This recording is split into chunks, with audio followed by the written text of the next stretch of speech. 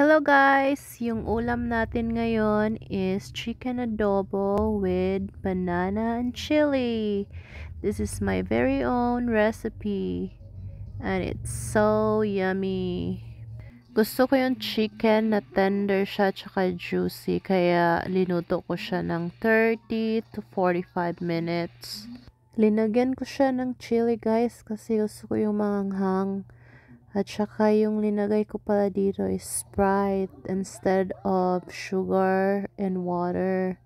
Kaya masarap yung lasa niya. Kung na-observe nyo guys, yung meat niya is parang nagsa-separate na siya doon sa bones. Kaya tender talaga siya, tsaka juicy. Masarap.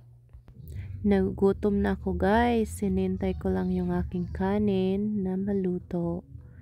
Yung aking kanin pala is half cup of rice lang ito kasi ako lang yung kakain. Luto na yung aking rice. Tsaka ready to eat. Let's go guys. Let's eat.